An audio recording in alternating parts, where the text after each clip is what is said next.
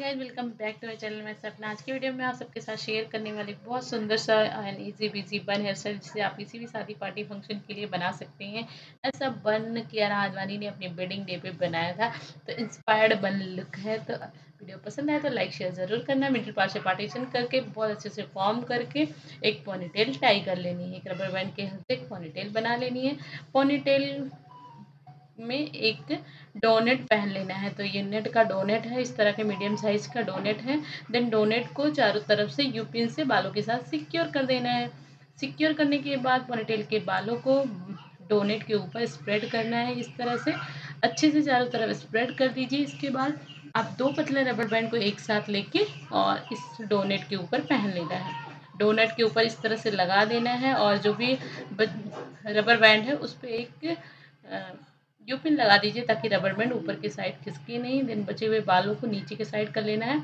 इसको two part में divide करिए और इस तरह से थोड़ा सा ट्विस्ट करके और बन के अराउंड रैप करना है और इसे यू पिन से सिक्योर कर देना है।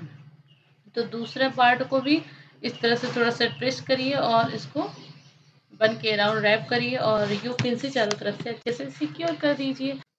यूपिन से सिक्योर करने के बाद चारों तरफ़ से अच्छे से यूपिन से सिक्योर कर दिए। इसके बाद इसे डेकोरेट करना है। डेकोरेट करने के लिए मैं यहाँ रोजेस ले रही हूँ। ये दो रियल रोज़ हैं, बाकी मेरे पास आर्टिफिशियल रोज़ हैं तो मैं मिक्स करके लगाऊँगी। तो इस तरह सिर्फ़ हाफ़ में लगाना है। नीचे नीचे साइड से रोजेस लगा देने हैं।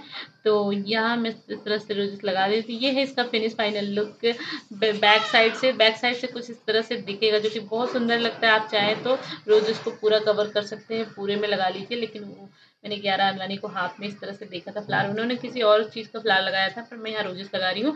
इसके बाद मैंने लिया है जेल। जेल को थोड़ा सा हैंड में लेके और इस तरह से बालों में लगा दूँगी ताकि एकदम फिनिशिंग सा लुक आए। इसके बाद कॉम से हल्का सा कॉम कर दूँगी तो इस तरह से बहुत ही फिनिशिंग लुक आ जाएगा। तो चारों तरफ़ से अच्छे से इस तरह से कॉम कर देना है। इसके बाद मैंने मांग टीका पहन लिया है। मांग टीका आप इस पर लगा सकती है। तो मांग टीका लगाने के बाद ये है इसका फिनिश फाइनल लुक तो मतलब फ्रंट से कुछ इस तरह से दिखेगा। बहुत ही simple easy busy bun hair style है।